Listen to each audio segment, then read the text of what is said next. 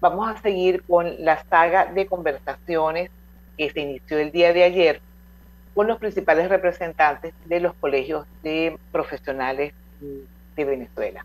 Y la idea justamente es conocer eh, dentro de la sede, dentro del seno de cada organización, cómo ha sido eh, la relación con las comunidades, y no solamente con las comunidades, sino con cada uno de los participantes, eh, de los protagonistas de esto, lo que nosotros llamamos el ecosistema condominial, que, que son los copropietarios, también son los administradores, son los contadores, los abogados, eh, las cámaras de comercio, porque los condominios no solamente son comunidades, también son de alguna forma son una suerte de mercado y vale la pena verlo de esta manera. Por eso la mañana de hoy eh, recibimos en el programa a, el licenciado José Rafael Pineda, que es mm, el, presidente del Colegio de Licenciados en Administración del Estado Carabobo y que también ha sido una persona eh, muy preocupada por el tema de la formación de los administradores. Además, bueno, de un amplio currículo que tiene José Rafael, eh, eh, y no solamente dentro del ámbito privado, sino en el ámbito público. Y bueno, tuve la, la, curiosidad de saber que también es locutora, que estamos hablando aquí con un colega. Muy buenos días, José Rafael, bienvenido a mi condominio en la radio. Para mí es un placer y un privilegio poder tenerte en este espacio de la mañana de hoy. Gracias, gracias por la invitación y buenos días a todos los radioescuchas de Radio Comunidad, quien le lleva un gran aporte no solo a las distintas comunidades, sino también a la sociedad venezolana. Gracias, Tibay. Mira, José Rafael, bueno, que oíste un poquito el contexto de por qué desde bicondomino.com queremos llegar a cada una de, las de los colegios, ¿no? porque sabemos que las agrupaciones gremiales pues tienen como fin lograr el objetivo de, elevar la calidad de vida profesional y además defender los derechos propios de sus agremiados pero también deben cumplir con, una suerte de responsabilidad social con la comunidad de la cual forman parte, ¿no? Y así lo hemos visto. Y por eso para nosotros particularmente era de gran interés esta conversación, porque justamente eh, el, organismo que tú lideras y representas en este momento agrupa a los administradores y dentro de los administradores, los licenciados de administración, hay algún grupo de ellos que se dedica a la administración de los condominios y para nosotros es sumamente importante. Eh, ¿Qué podemos decirle nosotros a la colectividad, al vecino común, a la gente de la junta de condominio o al propietario? ¿Cómo puede vincularse con el colegio de administradores si dentro de su condominio existe un administrador? ¿Cuáles son estas... Eh, servicios que le puedo ofrecer, eh, tal vez existe un tribunal disciplinario, hay un programa de formación. ¿Qué podemos decirle nosotros a la audiencia de la mañana de hoy? Bueno, primordialmente les puedo decir que nuestra profesión abarca muchos ámbitos. Dentro de uno de esos ámbitos, nosotros tenemos como prioridad la administración de condominios, debido a que la administración, particularmente, es servir. Y de ese servir, nosotros en la comunidad tenemos que tomar en cuenta que debemos servirnos los unos a los otros. ¿Ok? Valorando primordialmente los diversos principios del humano. Nuestro gremio, acá en Venezuela y particularmente en Carabobo, estamos abocados a generar la educación, la educación de lo que tiene como sentido complejo el compartir, el reconocer la necesidad de los principios humanos. La relación más grande que puede haber es la relación entre personas. Y es difícil entendernos los unos a los otros, pero sí es posible, incorporando nuestros principios humanos, el respeto, la tolerancia, y eso, nosotros como licenciados de administración estamos abocados hoy día con las diversas acciones y conocimientos que obtenemos en la capacitación profesional de compartir con esa comunidad, con ese condominio, con ese conjunto residencial que necesita tener en su momento oportuno una opinión de un profesional de la ciencia administrativa en el ámbito financiero, en el ámbito económico, en el ámbito logístico, que permita con esto recordar que son factores necesarios en un proceso de integración, de integración humana para el bienestar y el convivir colectivo. Ibai. Mira, eh, José Rafael, voy a empezar a tocar un tema un poquito espinoso, pero que creo que es importante conversarlo en esta oportunidad.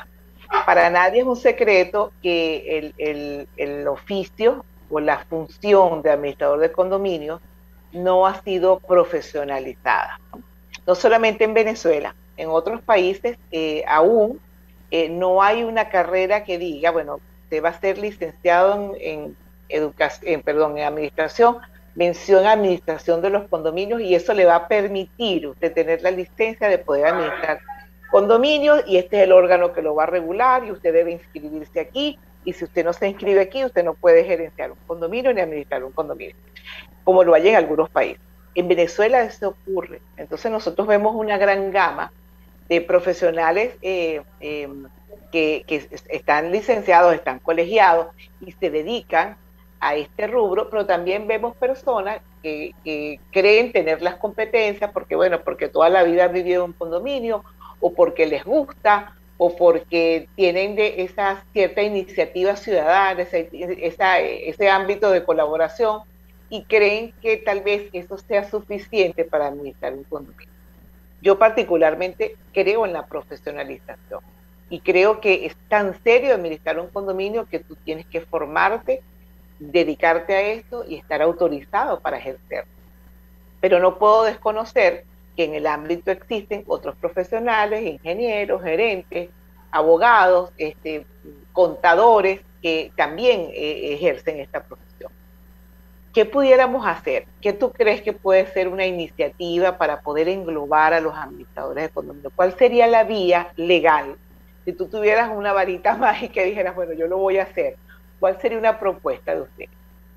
Bueno, la propuesta de nosotros primordialmente se basa en la preparación, la profesionalización en el ámbito.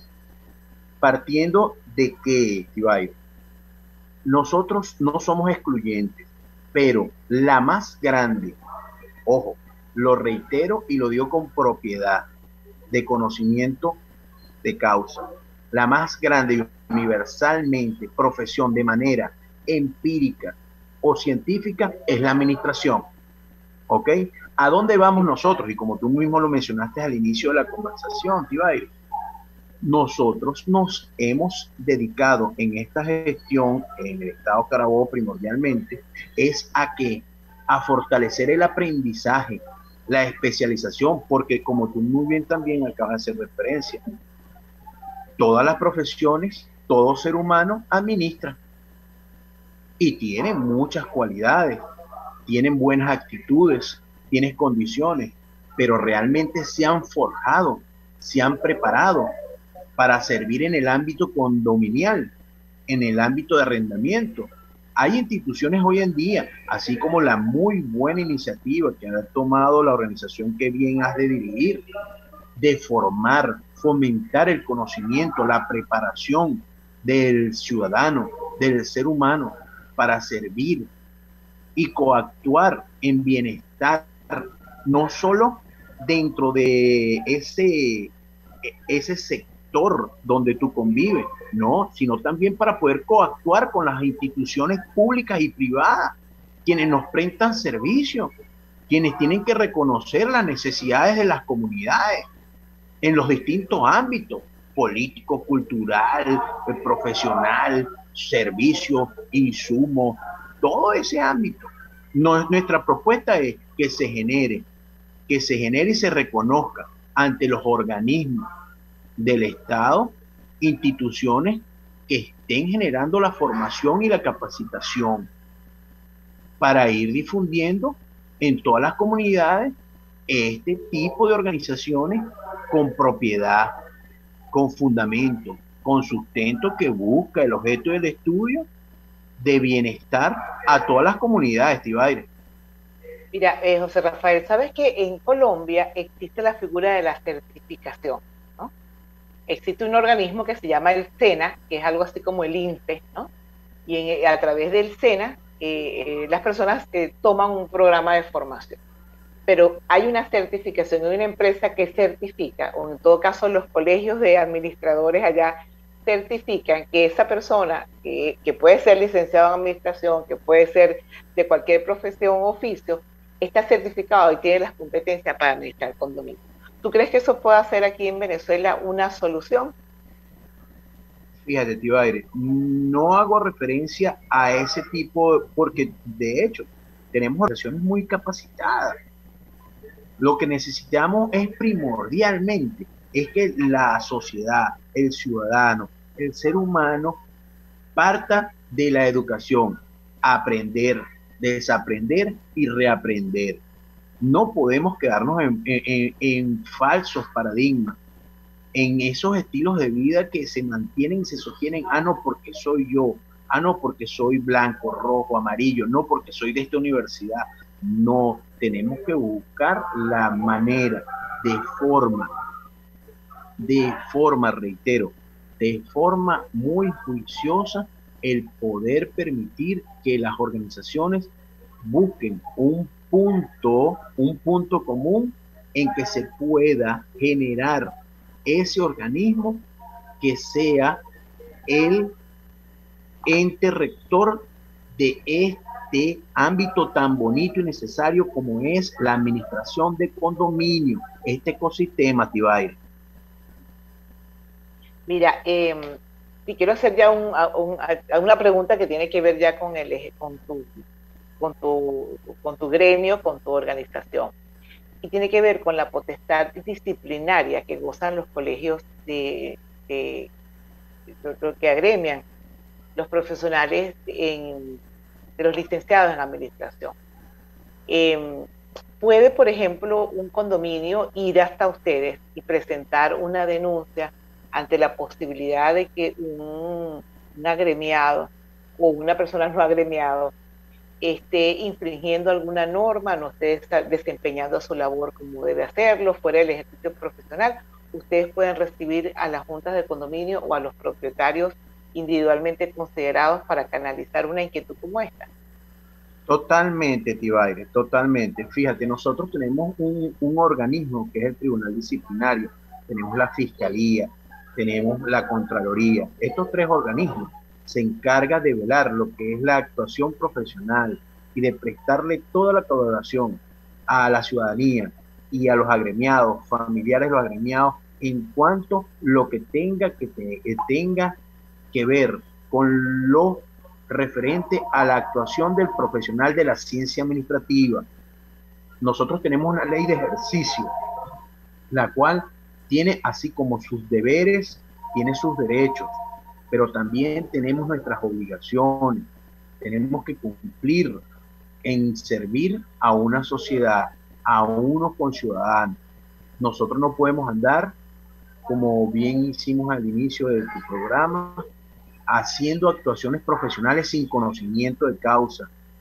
Nos podemos graduar como licenciado en administración, tenemos amplitud en todo, en todo lo que sea referente al término administrativo, administración de condominios, administración de hospitales, administración penitenciaria, administración de tierra, todo. Tenemos aproximadamente 35, pero el hecho de que te faculte la ley no quiere decir de que tú vayas engañando, haciendo una falsa actuación profesional, sin conocimiento de causa, sin preparación. Por eso es que nosotros en, este, en esta gestión, Tibaire, nos hemos abocado a que cada uno de los licenciados de administración que quiera ejercer en el ámbito a bien gusto de él, venga, se prepare, se prepare con organizaciones que estén bien fundamentadas, así como tucondominio.com, valga la, valga la, la cuña publicitaria, porque con todo el debido respeto, hago fe de que son una organización plenamente capacitada, fundamentada, preparada, profesionalizada en lo que es la administración de condominio. No con esto quiero decir de que hay otras organizaciones que no lo tienen. También hay universidades que están dando diplomados con reconocimiento internacional, Y con esto quiero aclarar y reiterar también, Tibaire, los profesionales de la ciencia administrativa que incurran en falsas actuaciones, actuaciones que estén desajustadas a los principios, a los valores, a nuestros estamentos legales establecidos como gremio, tienen que asumir la responsabilidad en el ejercicio, en nuestros contratantes. Nosotros debemos servir, nosotros no estamos para, para dar falsas expectativas, generar unas actuaciones negativas a la sociedad. Y reitero también a todos los radioescuchas que el, el gremio de la ciencia administrativa de los licenciados en administración de Venezuela tiene las puertas abiertas para recibir cualquier denuncia de aquel licenciado de administración que no tenga las facultades para ejercer ese ejercicio, que esté engañando, que esté haciendo una falta, una falta de ética a nuestros principios, están las puertas abiertas. Eso sí, como siempre hemos dicho, con sus respectivos, eh, con sus respectivos sustentos, fundamentos, pruebas, porque no vamos a estar en, chisme, dimes y directos. Claro, claro, sí. Eh, eh, el que haga una denuncia tiene que tener los soportes de, estas denuncias porque si no, no tiene sentido. Ahora, tiene que estar colegiado para poder hacer la denuncia. ¿Usted, Rafael? Fíjate, Tibaire, no, no necesariamente. Claro, es un factor determinante, ¿verdad? Que te he colegiado para nosotros poder facilitar el procedimiento administrativo pertinente que deba cumplir el órgano al cual tenga la, jurisdicción, sea fiscalía o sea tribunal disciplinario. Nosotros como, como junta directiva lo que hacemos es la defensa gremial. Sin embargo, nosotros como profesionales que nos ampara una ley, esté colegiado o no esté colegiado, nosotros vamos a asumir toda la denuncia y todo el procedimiento pertinente, porque también como si, como todo profesional venezolano, tiene conocimiento que hay unas profesiones que de graduarse es o carácter obligatorio al obtener el título de profesionalización ir a colegiarse para el ejercicio de la profesión eh, una de esas profesiones es la ciencia administrativa, el licenciado en administración, así como la medicina, así como la contaduría, así como el veterinario, así como el ingeniero. Si quieren ejercer la profesión correctamente, tienen que agremiarse. Así es. Oye, mira, que es interesante que podamos darle esta información a las personas, porque no te imaginas la cantidad de denuncias que nosotros recibimos eh, bueno, denuncias no, nosotros no somos un ente que recibimos denuncias, sino inquietudes, casos donde nos dice, oye, mi administrador se fue y se llevó los libros y no los quiere entregar, por ejemplo. El administrador no rinde cuentas. Entonces, claro, eh, cuando nos dicen que hay una falta de rendición de cuentas por parte del administrador, eh, la vía legal inmediata es el proceso de rendición de cuentas, pero ¿cuánto cuesta para una comunidad un juicio de rendición de cuentas, el acceder a la justicia. Entonces, saber que existen otras instancias como la tuya, donde este, ustedes pueden llamar al colega, eh, llamarlo a capítulo, como se dice, decir, mira, acaba de llegar una, una, persona con una prueba de que tú eres el administrador y hace esta aseveración.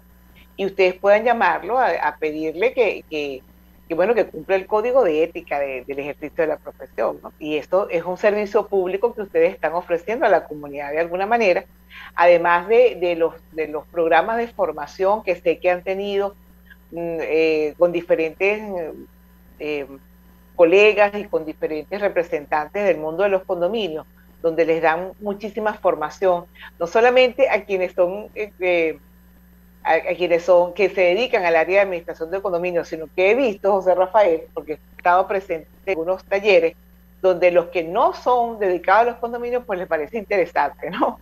Y oye, yo no sabía que esto de administrar condominios era así y a lo mejor alguna de esa gente decide hacerlo. Entonces, fíjate que con esto eh, estoy como que poniendo en contexto qué puede hacer un colegio de profesional en beneficio de la comunidad formación para sus agremiados y también atender aquellos casos donde se ha incumplido eh, los deberes eh, en el ejercicio de la profesión o han atentado en contra de la ética profesional. Eso es lo que, lo que estoy viendo. ¿Hay algo más que ustedes a lo largo de este tiempo estén haciendo en beneficio de las comunidades, algunos servicios sociales, eh, previsión mm, eh, familiar para los agremiados? Cuéntanos un poquito acerca de eso. Bueno, nuestro gremio Tibaire acá en Carabobo se ha fortalecido en lo que es la gestión de el fortalecimiento del conocimiento y hemos ido más que todo a la base de nuestra, de nuestra formación, que es a las universidades. Por ejemplo, aquí en Carabobo tenemos dos universidades que tienen las escuelas de administración y como tú bien sabes y hemos comentado, nosotros buscamos es el fortalecer la clara que en la malla curricular de las universidades no está, no está contextualizada, ¿ok? Es imposible que tú veas las universidades no tocan lo que es el estamento gremial, lo, no, que, no tocan lo que es el ejercicio de la profesión real. ¿Ok? Entonces, eso es una debilidad grande que tenemos en las universidades y nosotros estamos combatiendo. Porque entonces, cuando se gradúan, lo que van es al vicio, ¿ok? No van al ejercicio profesional, sino van al vicio de la profesión. Y nosotros necesitamos hacer correctivos prudentes, fundamentados y sustentados en cuanto a lo que es el ejercicio de la profesión. Y nosotros nos basamos como tú bien lo has dicho, a, a, cubrir esa necesidad, esa inquietud, ese profesional de la ciencia administrativa y de la sociedad, de la sociedad. Aquí hay comunidades que nos llegan y nos hacen propuestas de ir a darle, eh, de, ir a darles talleres, cursos, y nosotros, ojo, de manera gratuita, sabemos que toda actuación profesional tiene un valor, pero nosotros sabemos que la mayor, el mayor reintegro que podemos tener, obtener como profesionales es la necesidad y cubrir esa necesidad, esa inquietud de una sociedad, de un mercado, ¿ok? Indistintamente el estatus, clase, tipo, A, zonificación, A, B, C. No, no, nosotros estamos pendientes de que se aprenda realmente, de que no se quede una mala actuación del profesional. Igualmente atendemos de manera los beneficios colectivos de la, de la familia del agremiado, con sus actividades culturales, deportivas, teniendo en cuenta el contexto que tenemos con la situación pandemia. Llevamos dos años que nosotros indistintamente hemos tenido esa, e, e, esa actividad constante de manera virtual. Ojo, no hemos, no hemos parado. Nosotros desde el año 2019, marzo, que inició todo este proceso, si no mal recuerdo, nosotros no hemos parado, nosotros no hemos cerrado las puertas nosotros hemos tenido una actuación virtual, ¿ok? Con todos nuestros alineados, de manera nacional e internacional. Hemos realizado congresos internacionales con Latinoamérica y Europa. Hemos realizado foros internacionales. Y ojo, como siempre hemos dicho, la administración es cambiante. ¿Ok? Y nos basamos a qué? Nos basamos a todo el estamento legal jurídico de la profesión en Latinoamérica. No nos cerramos nada más en Venezuela, porque nosotros también tenemos profesionales que están en el exterior que tenemos que atender. tenemos que apoyar en cuanto a nuestra profesión, buscar articular con los distintos organismos internacionales donde se encuentran nuestros colegas y poder demostrar que tenemos la capacidad y la competencia de nuestros colegas y nuestras instituciones gremiales. Por eso es que nos mantenemos constantemente en lo que es la reeducación, el reaprender, el aprender. como siempre manejamos, eh, bueno, manejo yo Tibaire con el debido respeto de todos los profesionales, pero título no hace gente y nota no hace profesional. Tenemos que buscar el punto de equilibrio entre lo de profesionalización y lo humano. Tibaire. Así es. Bueno, mira, José Rafael, de verdad que fue una tertulia este, agradable, interesante, saber que los administradores de condominio están licenciados, los licenciados y los agremiados pueden tener en el colegio y que tú representas, pues bueno, su casa. No, no solamente les van a dar formación, sino también este soporte ético y moral que es tan importante. yo quiero agradecerte la, haber aceptado la invitación a participar y decirte que los micrófonos de micondominio.com están siempre abiertos cuando tengas la necesidad de divulgar alguna iniciativa en beneficio de la comunidad o cualquier, em, o cualquier otra iniciativa que, que bien tengas a futuro donde involucre esto, este gran ecosistema de los condominios que es tan interesante. Gracias, Tibaire, por la oportunidad que me da y quiero reiterarle a la comunidad, a todos los radioescuchas, que el gremio de los profesionales de la ciencia administrativa, los licenciados en administración, tenemos toda la disposición de servirle a nuestra querida Venezuela que tanto lo necesita. Solo recuerdo un poquito de principios, un poquito de valores en cuanto al respeto, la tolerancia, la integración, podemos coexistir y convivir juntos para una bella y linda Venezuela. Y vaya, gracias una vez más. Amén, que así sea. Bueno, muchísimas gracias.